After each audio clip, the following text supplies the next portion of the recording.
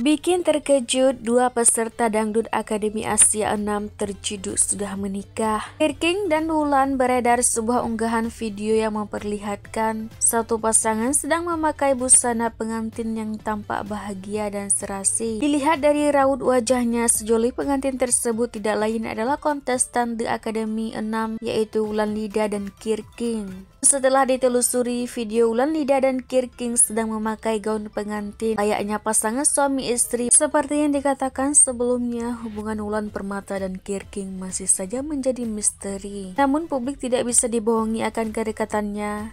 Ia benar saja secara mengejutkan hubungan keduanya saat ini sudah diluapkan ke publik Tak hanya itu saja keduanya kini sudah mendapatkan restu akan hubungannya tersebut. Seperti kata pepatah, cinta itu bukan hanya sekadar kata-kata, tapi 100% tindakan ia jika dilihat dari tindakannya keduanya memang selalu bersama dan terlihat begitu mesra. Di sisi lain keinginan Wulan untuk bertemu dengan keluarganya Kirking sudah terwujud dan di situlah Kirking langsung memperkenalkan Wulan sama ibundanya.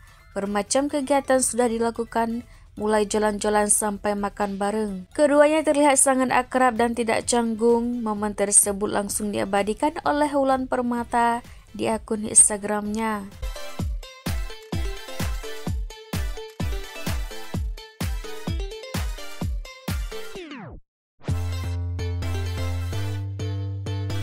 Beredar sebuah unggahan video yang memperlihatkan satu pasangan sedang memakai busana pengantin yang tampak bahagia dan serasi. Dilihat dari raut wajah sejoli pengantin tersebut tidak lain adalah kontestan The Academy Asia 6 yaitu Wulan Lida dan Kirking. Namun setelah ditelusuri video Wulan Lida dan Kirking sedang memakai gaun pengantin layaknya pasangan suami istri baru itu selama menjadi akademia di Akademi Asia 6 sehingga tak mengherankan jika keduanya kerap menjadi seseran kreativitas para fans. Ulan dan Kirking diketahui tengah menjalin hubungan persahabatan yang begitu dekat meskipun keduanya bertarung di panggung di Akademi Asia 6. Untuk menjadi yang terbaik, saking mestinya Ulan, Lida, dan Kirking sering membagikan momen berdua yang terlihat romantis seperti sepasang kekasih yang sedang dilanda kasmaran. Maka wajar saja jika keduanya kerap diisukan menjalin hubungan spesial. Namun publik tidak bisa dibohongi akan kedekatannya.